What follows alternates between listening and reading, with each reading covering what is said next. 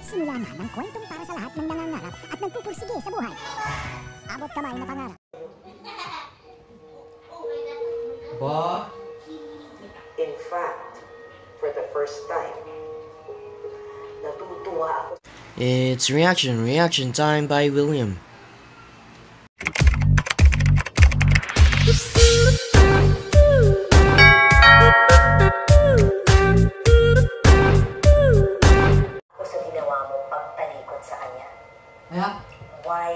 Wise decision. Huwag mo siyang kilalaning tatay. Hmm? Hindi naman pwedeng malaman ng buong mundo na may anak sa mga si Robert. Lalo na si si Zoe.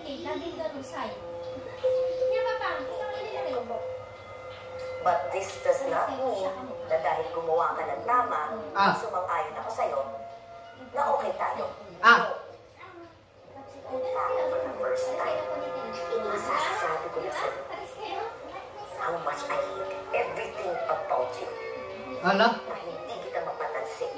Kahit gusto gusto ko. Dahil pinoprotektahan ka ni Robert. Hmm. But I am warning you. Hmm. Huwag na huwag lalaki yung ulo mo at piling untouchable ka. Dahil alam ko sino yung tatay mo. Huwag kang magkakamali. Dahil ako mismo ang puputol sa sungay mo. Sige nga! Naiintindihan ko po kayo, ma'am. Wala po ibang makakalam.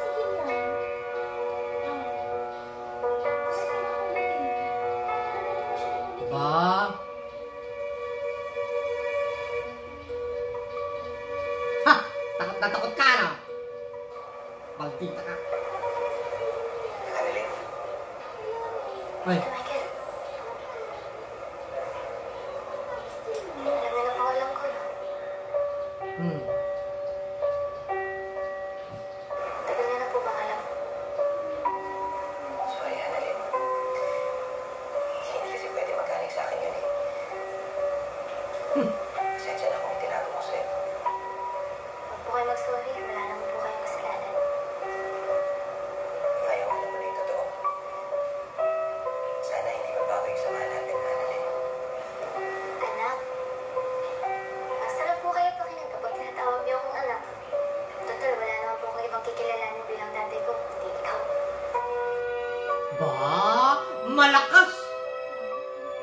Michael?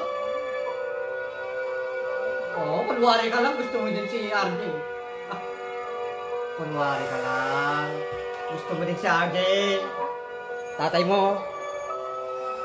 Yun, oh. Sorry po ba? Pero yung matanda po kasing kausap niyo kanina, Hmm. ba't po siyang may sakit? Hmm. Paano niya nasabi? Kasi po nanggaling na po siya sa ER ng nakaraan. Yeah. Process na nga po siya nito Antonio. Then, Ha?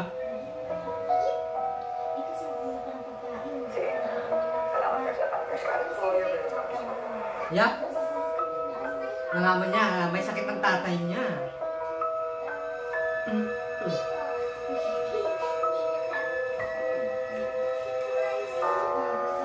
Yun.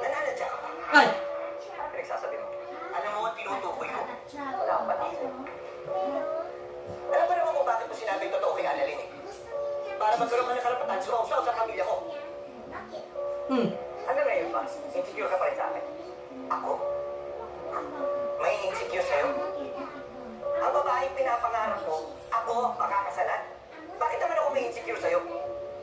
Baka nakalimutan mo na ang babaeng papakasal sa'yo, una naging akin. May anak na kami, di ba? At malamang, kung pinanindigan ko, malamang wala siya sa'yo. Magkagawa!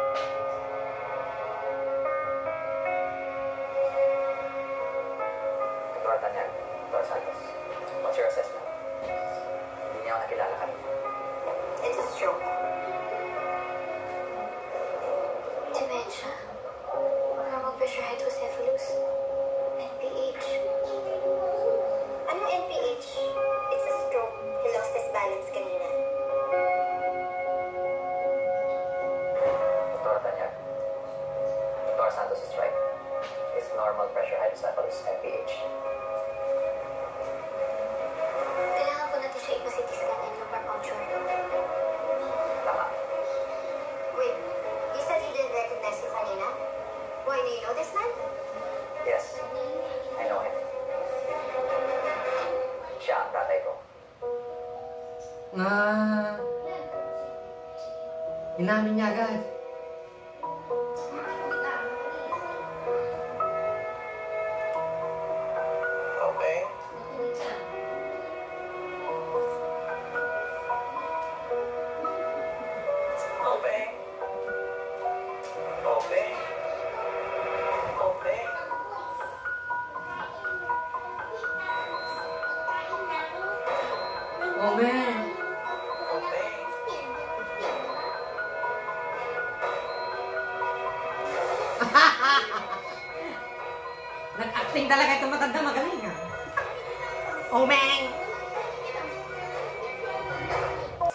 po, Yun, no? po kayo patagilid po. Kukuha po mga spinal fluids po ninyo. Lagi mo ba ginagawa ito? Yeah. Opo. Siguro, magaling na doktor din ang tatay mo. Yeah.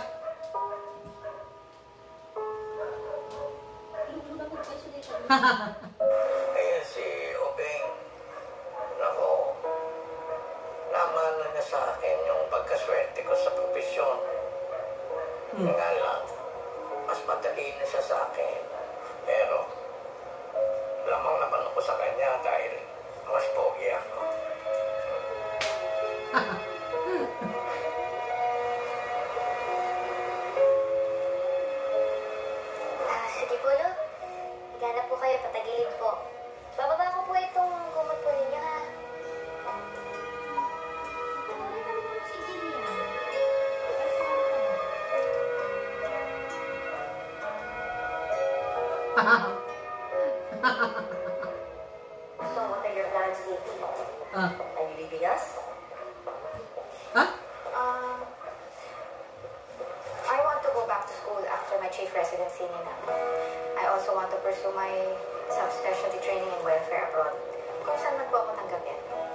Mm. You are always welcome here. Apex is your home. Thank you, Nina. Ah, aalis si Dr. Enriquez. Ah. You won't believe this. Wait, what happened? Meron pala akong tuto. I mean, Dad never talked about his dad. Hindi ko pa kasi siya nakikilala eh. In fact, nakausap ko na siya before.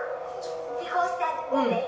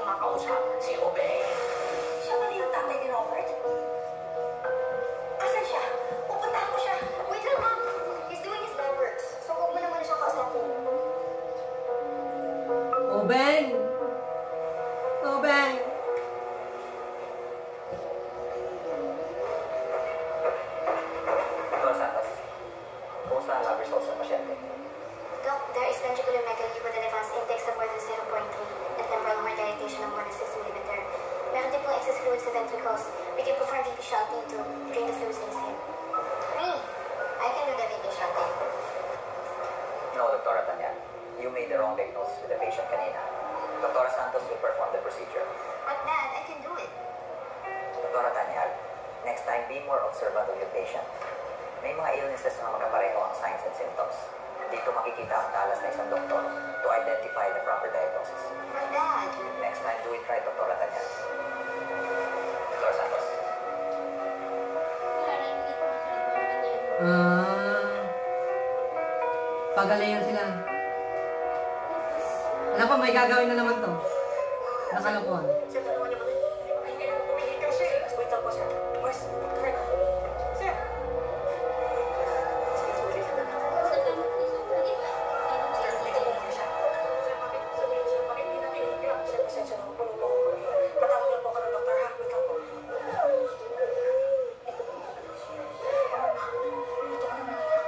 Oh, yung batang wang, angalin nyo na.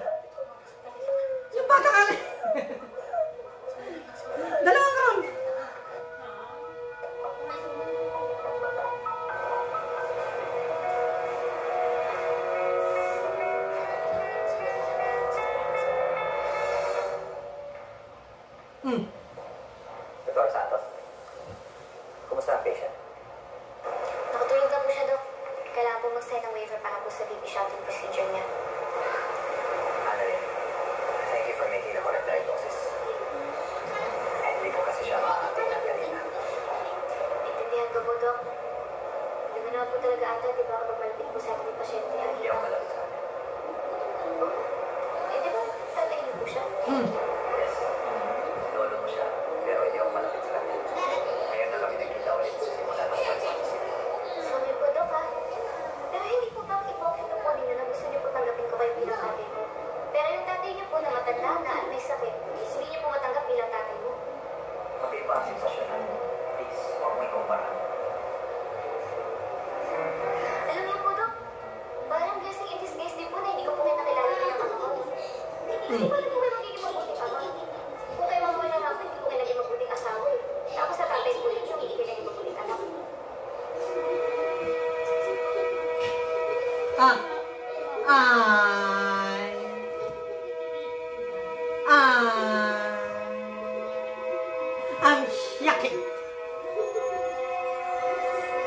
Yo no.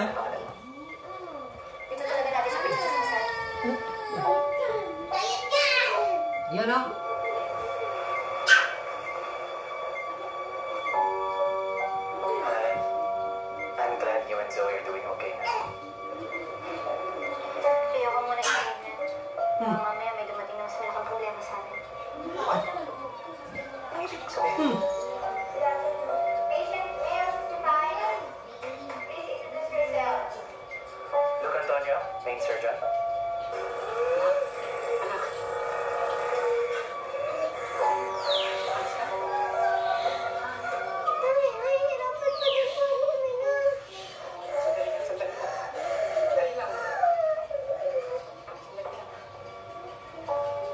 嗯。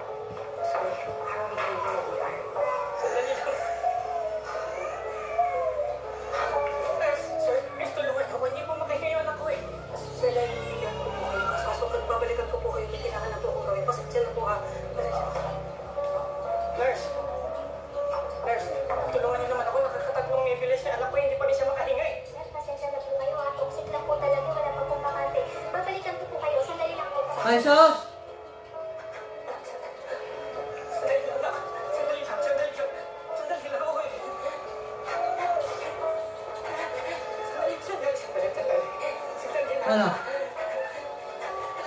Ano kaya magiging round dito ni Bentong?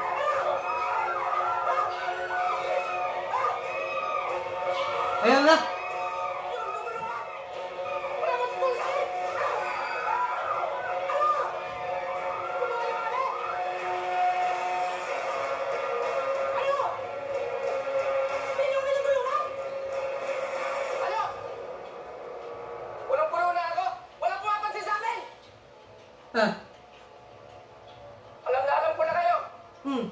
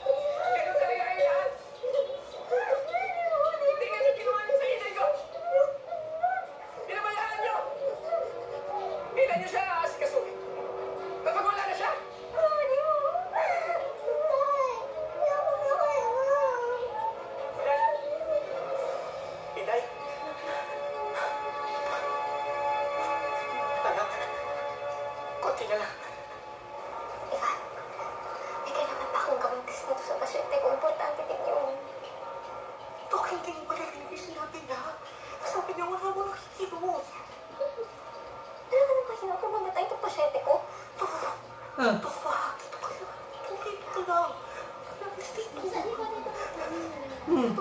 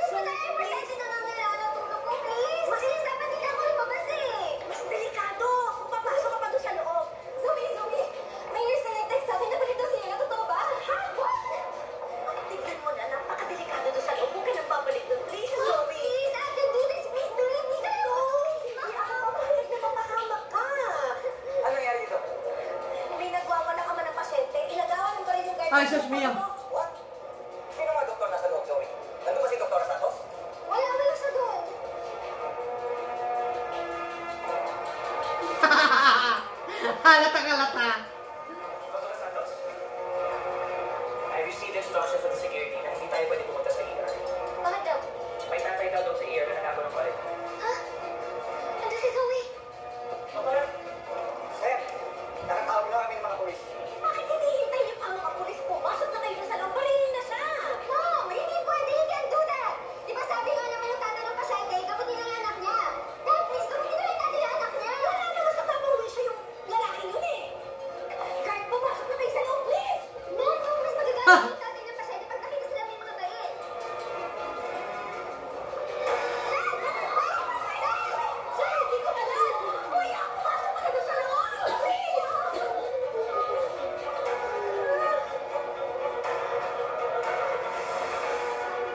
Aba, magmalaalahay hero si RJ, no?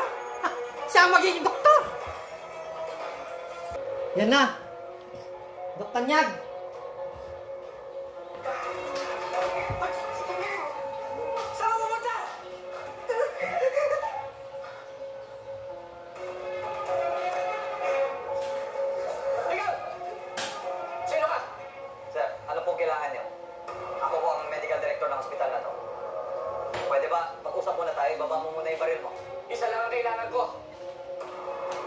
asma at di makahinga ang anak ko. Gamutin mo siya kung di ma